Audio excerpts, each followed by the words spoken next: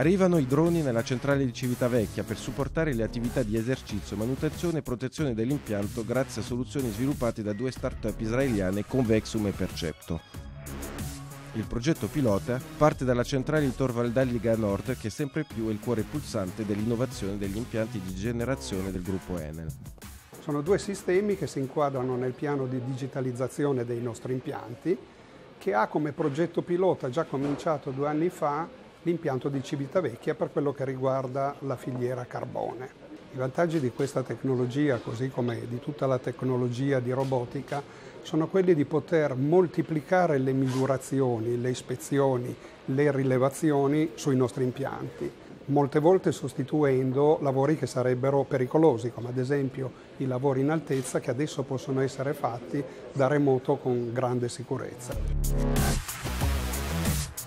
Questo progetto è un esempio concreto della collaborazione proficua di Enel con alcune tra le più interessanti start-up a livello internazionale.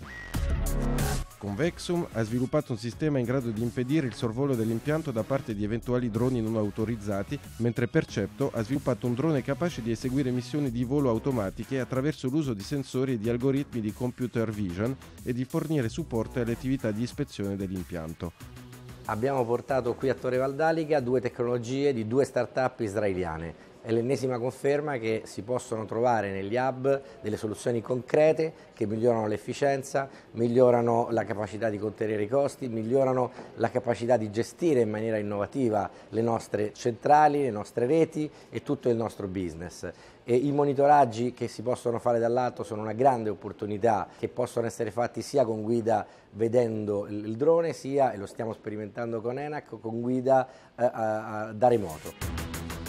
Questa iniziativa presto sarà estesa a tutto il parco centrale del gruppo, sia in Italia che all'estero, che annovera circa 80 impianti di generazione tradizionale. Il nostro obiettivo è quello di fare quello che noi chiamiamo lo scale up, quindi di portarli su tutti i nostri altri impianti.